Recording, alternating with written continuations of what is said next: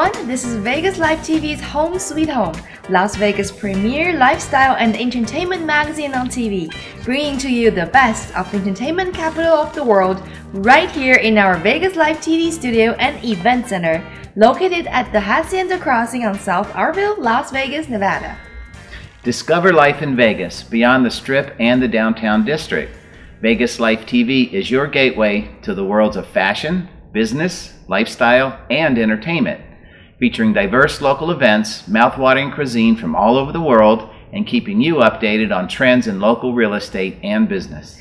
For this week's highlights, have you been to Fremont Street lately? Mm-hmm. It is experiencing a renaissance and establishments are updated and polished to attract tourists and locals alike. The Downtown Grand Las Vegas Hotel and Casino, formerly the Lady Luck, is the latest and most notable of the establishments to completely overhaul and boast stylish strip luxury with local tailored pricing, and service. Wow, and also a truly one of a kind spectacle has arrived here in Las Vegas. Director An Zhao, whose work includes the opening and closing ceremonies of the 2008 Summer Olympics in Beijing, exclaims that the Palazzo's newest show, Panda, will leave audience in awe. Further, he says, We've taken two of China's national treasures, pandas and Kung Fu, and illuminated them in a visually stunning production that tells an unforgettable and timeless story. Our team couldn't be happier to bring this experience to the international audience Las Vegas is known to attract. Featuring performers from the world renowned China National Acrobatic Troupe, the China Star Dance Troupe, and the Shaolin Monastery Kung Fu Monks Troupe. Do not miss this unique experience. I haven't seen that yet, but it sounds very, very good. That'll be fun. and inquire with your favorite service or agent for limited time deals on booking at the Downtown Grand, as well as showtimes and tickets for the stage production Panda, currently ongoing at the Palazzo. On this week's edition of Home Sweet Home, resident experts Mark and Melody offers practical insights on the real estate and business segment. And join Shannon on lifestyles with a one-on-one with some of the local community's most influential players. Esteemed Hollywood fashion designer David Tupaz presents Essence of Style, your exclusive insider access to the growing fashion industry in Las Vegas. Finally, for expert immigration counsel, watch Immigration Matter with attorney Vissia Calderon dealing with the issues that matter to you. Your problems, your questions answered right here on air. She's very knowledgeable. I've heard her talk. At work, at play, at home, from the city that never sleeps. Broadcasting across the world, we are proud to showcase to our global audience that Las Vegas is home sweet home. Up next is the real estate and business segment, and you're watching Vegas Life TV's Home Sweet Home. Don't go away, we'll be right back.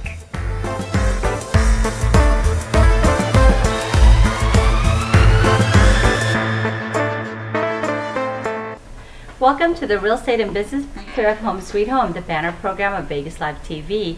I'm Melody Mojica, and I'm enjoying our set right here at the studio and event center. And I'm Mark Bowman. The Las Vegas real estate market has seen its many ups and downs. With the recent years of increase in foreclosures and short sales, many homeowners have chosen to rent a home. Yes, and here with us today is Honorable Justice of Peace Cynthia Cruz for Las Vegas Justice Court Department 5 to talk about what she's seeing in her court regarding these evictions. Thank you, Cynthia. Thank you for being here. Taking oh, you're very welcome. To be with us. Thank you.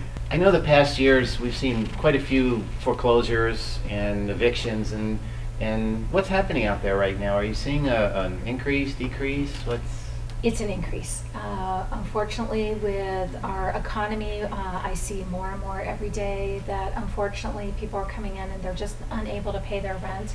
And uh, property owners, property management, and landlords are being left with no choice but, unfortunately, to have to start doing an eviction process, um, mostly because they've got bills to pay too, and, and that's difficult.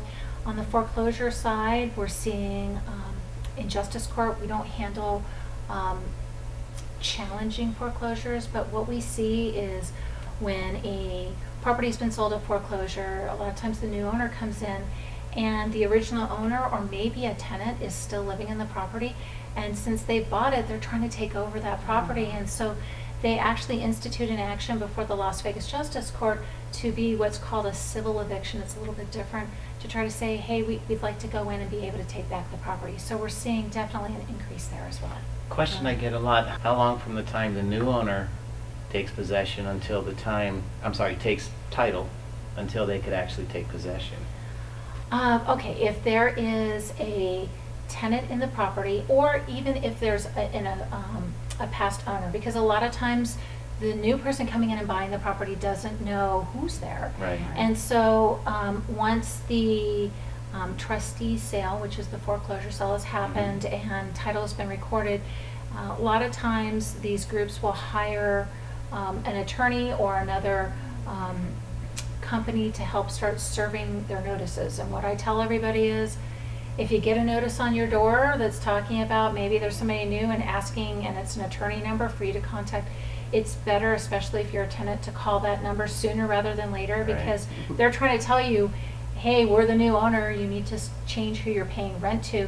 Because if you're a tenant and a new owner takes over and they've given you that notice and you're not paying rent to that new owner, that new owner can start a, an eviction process. Yeah. And if you get a summary eviction against you, that goes on your credit, and that is, that is very hard to overcome, one of those evictions. Uh, I warn everybody that just because it, it may be, um, not underneath a nuisance, a lot of times, a lot of rental agreements have a, a lease, uh, provision that says that you, you can't be, um, being problematic with other, um, employees. And so instead of it being a nuisance, it's a lease violation. Mm. So, uh, we normally tell everybody, it's the biggest pitfall. It's the biggest pitfall if you're a property owner or if you um, are a leasing agent or a property management company or even a management working for a, um, an apartment complex, the right notices. The right notices are so important. Uh, we have a website. It's a great website. Uh, it is the Civil Self-Help Center uh, down at the courthouse. And they have a website. It's www.civillawselfhelp.org. Uh, I think I gave you the website so you can post definitely it. we'll post that. And it has all the current notices that are in force, so you're not getting an old notice. And a lot of times it can give you as to, uh, both for landlords and tenants, information so you're using the right notice because there's plenty of times I get people in front of me and the landlord may have an issue and they're using the wrong notice and Sure. I Yeah. can't grant the eviction. And That makes for sense. tenants too, there's, that has a lot of information. Tenants, the biggest one that I see is that they're saying, well, my, my apartment is, is not habitable. I, I have a problem. And so they want to withhold the rent, but they forget that there's a particular process, meaning you have to tell your landlord um, or your property manager in writing what's going on, and you have to give them an opportunity to fix it Wow. before you withhold the rent. And a lot of times people withhold the rent and then tell the landlord and then it's, it's a big mess and you end up with a five-day pay rent or quit on your door uh-huh. and you don't want that. Nobody's so happy. many, exactly. So many great information. I wish we can have you for 30 minutes here, but unfortunately, we only have five minutes and our time is up. Okay. so we thank you so much for being here. Oh, I wish you know we hope you come back another day with us and Well, talk about a different. well, subject. hopefully you can post the websites for both the Las Vegas Justice Court and the Civil Self-Help Center. They're probably the best um, resources for our court and helping people out. And they're, they're a great resource. And if you can't get help there, then they're usually going to give you a link to where you can. Wonderful. Thank Perfect. you so much for being here with Oh, you're us. very Thank you so welcome. much, Judge Cruz. If you are in the real estate industry, a local business owner, or if you know any individuals living in Las Vegas that have made a difference in our community, we want to share their accomplishments with you. Have them send us their bio and what they have done or are doing to improve the lives of our locals via email to homesweethome at vegastv.us and we'll invite them to our show for an interview. Yes, and when it comes to real estate, Melody and I can answer your questions. So if you or anyone you know needs our help or assistance in property management, buying or selling your home, we have the proven track record and the experience to help you. We've helped many of our viewers already, so call us now at 702 721 7474. This is Mark Bowman. And I'm Melody Mojica, providing you with local business information to keep your business alive and making your house a home sweet home. Don't go away, Lifestyle with Shannon Yang is up next.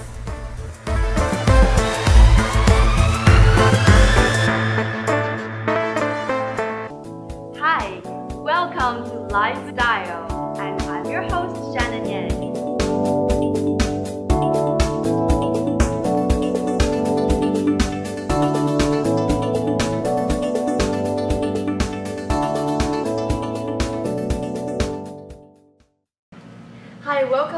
Lifestyle with Shannon Yang. Today with me is Joe Lohan.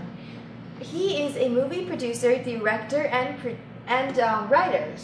And at young age, Joe already accomplished 70 short films, and he's working on his fourth full-length feature film. Joe, thank you so much for being here. Thank you for having me. So tell us what type of genres of movies do you make? Um, I mainly focus on horror. Uh, I've, Interesting. I've messed with comedy and drama, but it's mainly horror. I like to scare people. You like to scare people. I That's what you like. I like to and you do what them. you like. That's Yes, I good. do. That's good. Um, I know that you have been noticed by some of the Hollywood directors, and tell us what directors and why. Um, I've been a part of Hellbenders, which is JT Petty. Um, I, I'm a part of his new film. It just was released maybe the beginning of this year. And um, James Wan from Insidious. Also, I was second runner-up in the Insidious Chapter Two competition. I see. And and I know just recently got an award as well, right? Yeah, we were just. Um, I was just informed that I will be receiving an award for the 48-hour film project this Friday. Yeah. Congratulations. Thank you. And you're very accomplished. Tell us what does it take to be a movie producer, writer, director? Um, it's lots of sacrificing. Like what? I mean, you don't sleep you know, at all. Really? You give up sleep. Yeah. I mean, maybe two days ago I was running on like two hours of sleep for three days. wow. Yeah. I've been on set this past couple of days back to back. So And I how mean- how do you handle that? I don't know. I guess it's just a rush of me of my my films coming to life that kind of just keeps me going. You have to have a passion for it. Yeah, I mean, I live and breathe film, so I guess majority of the time it's more just thinking of what's the next shot. You What's know, what can we make shot? different? That's what keeps me going. I see. And um, how can someone get started in the industry? Um, honestly, just keep creating. Keep creating. I've been doing this since I was 11 years old, and Do you need to work with any local agent? um, no, I mean, at, at a certain point you can, but at this point, as long as you just keep on creating, I mean, you do something one weekend, release it, see what you did wrong, do it again the following just weekend, just keep on making, keep on creating. I see. Are you working on any film right now? I know you're working on your. You tell us a yeah, little bit more I'm, I'm working on my next full-length feature called Atelophobia. Um, what does atelophobia mean? Um, it's the fear of imperfection. And tell. It's interesting. tell tell us a little bit more about it. Um, I, the best way I could describe it is like, it's weird. It's like Miss Congeniality meets Mean Girls meets Saw. that actually it's- sounds kind of interesting. Yeah, it's about pageant girls and bullying, and it's just very a torture film. It's really bloody. it is. Um, like tell us where we can find more information about it, and when it's gonna be, when it's gonna be coming. Um, we have an expected date to release October 13th of this year.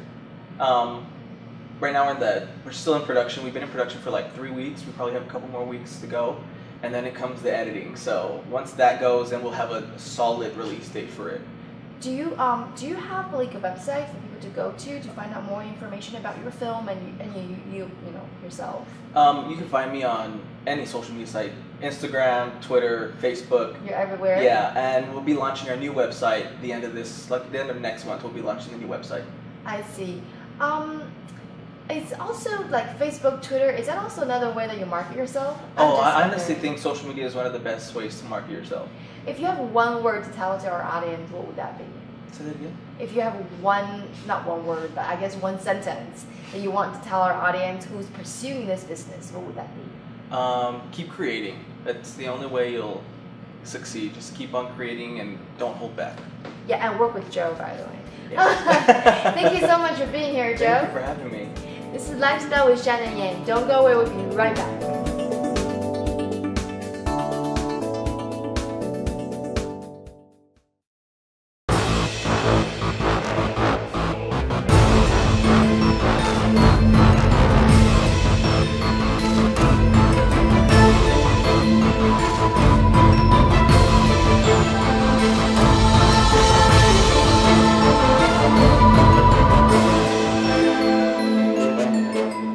Hello, this is Essence of Style, and this is David Tupaz. Today I'm going to talk about music, not style.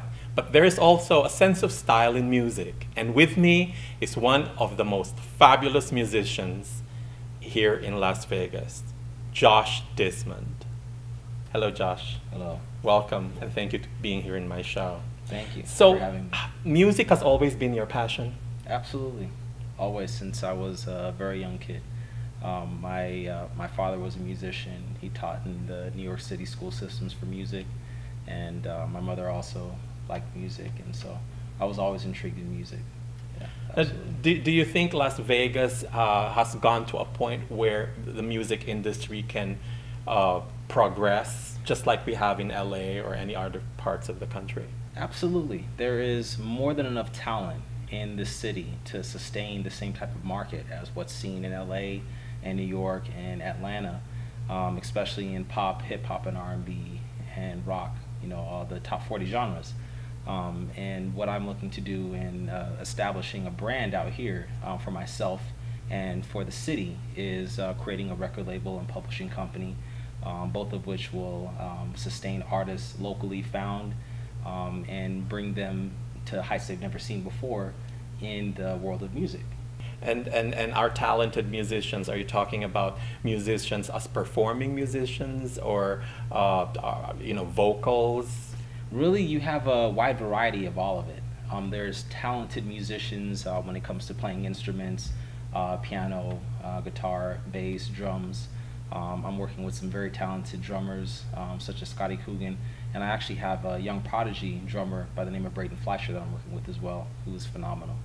And it, it's so uh, amazing to me that you know you seem to be in uh, an inspiration to a lot of younger uh, musicians and singers and performers. Um, getting kids out there the way that I wasn't able to when I was of their age and the interest in music, it's definitely a good focus to have younger kids involved in something that can be a good outlet for them um, into their creativity.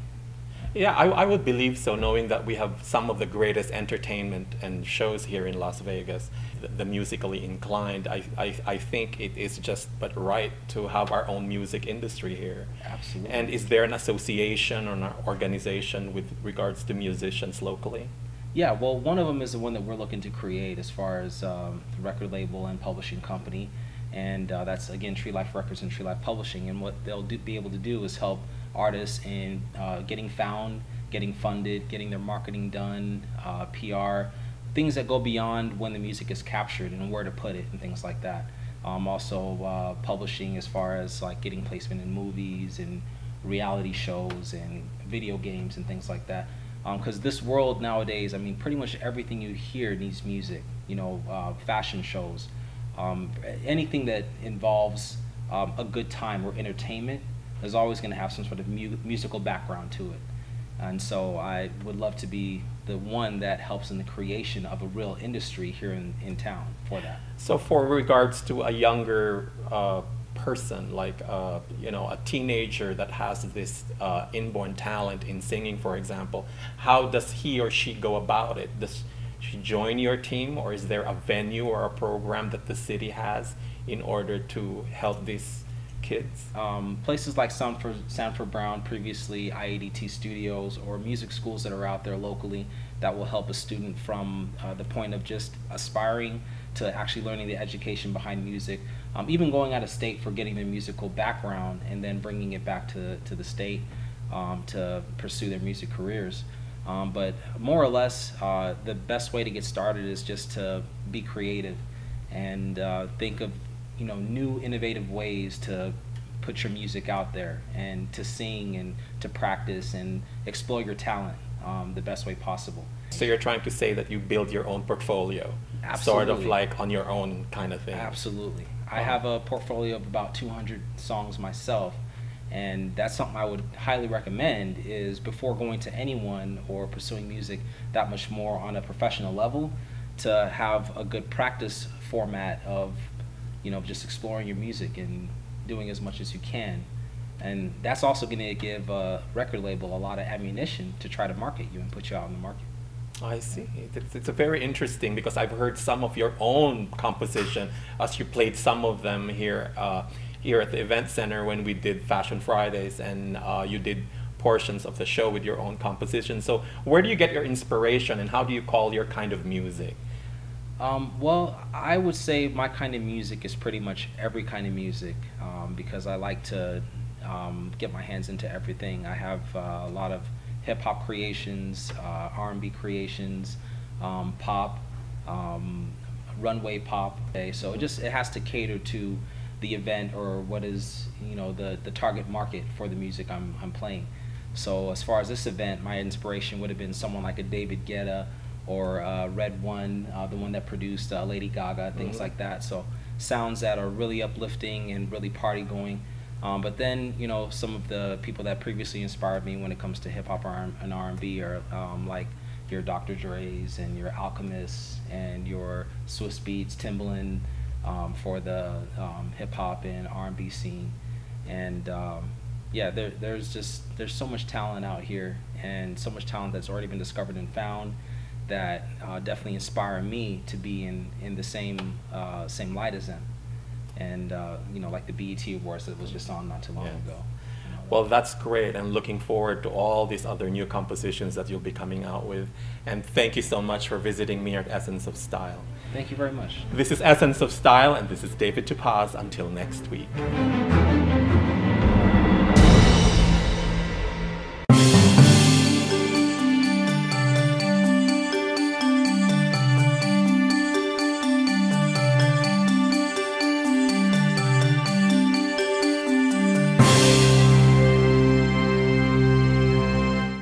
Good day, everyone. Welcome to this week's edition of Immigration Matters with Vissia Calderon, only here on Home Sweet Home.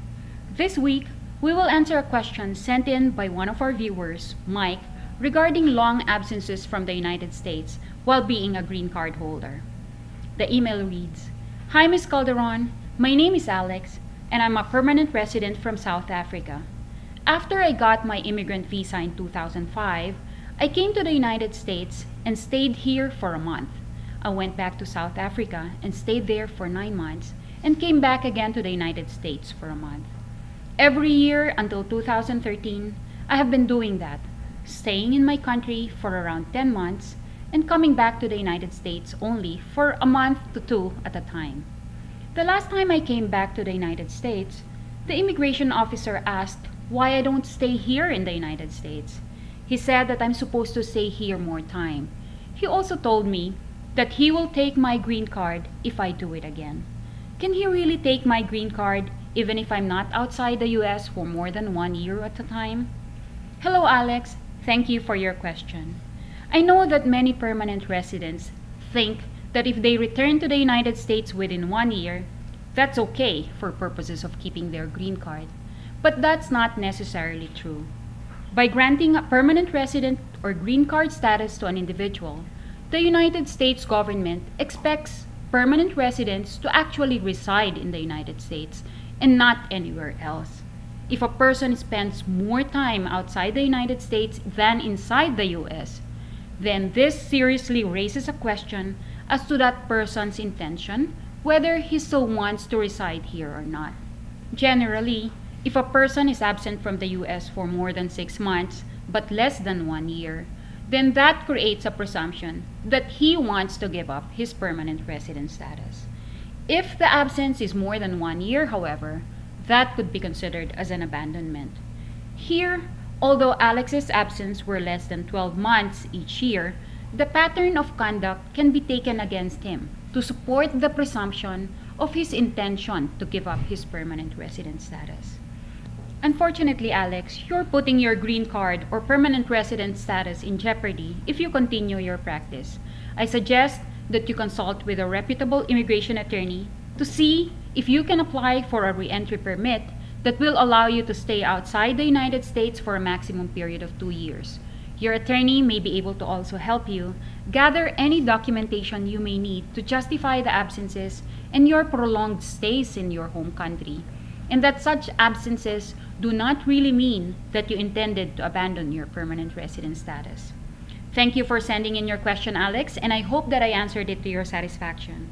To our dear viewers, if you have immigration questions, feel free to call us at 702 659-7899 or email us at homesweethome at vegaslifetv.us. I'll do my very best to answer them right here on Immigration Matters with Vissia Calderon. Thank you, and I look forward to seeing you again next week, same time, same channel. Attorney Vissia Calderon at your service.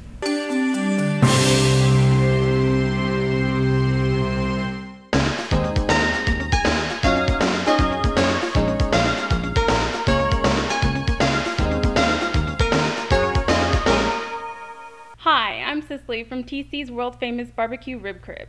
We are located at 3655 South Durango between Spring Mountain and Twain. I'm here to present the signature dish of the week, which is our world famous barbecue beef rib. Yes, that's right, I said beef. We serve spare ribs, baby back ribs, as well as our crowd pleasing beef ribs.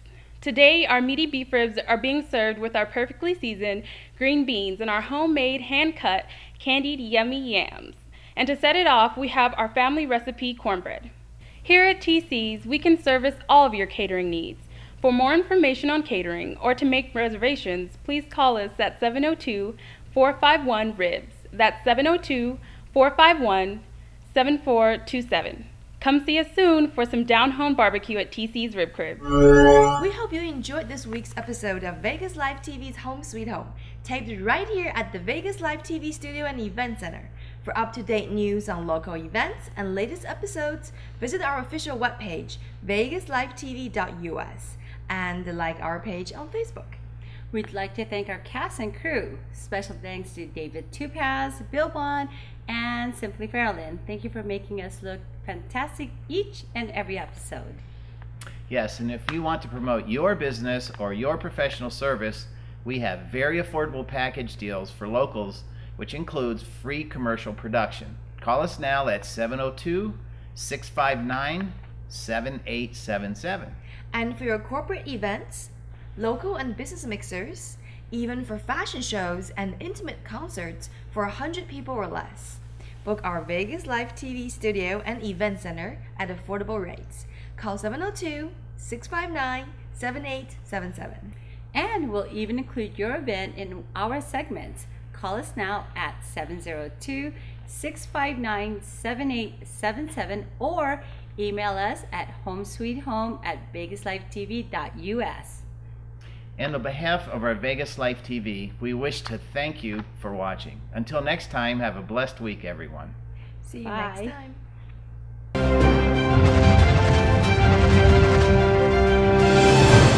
This has been a presentation of VATV,